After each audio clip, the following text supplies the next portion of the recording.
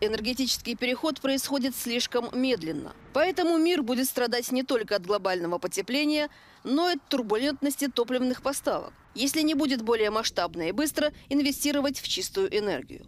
С таким предупреждением выступило Международное энергетическое агентство.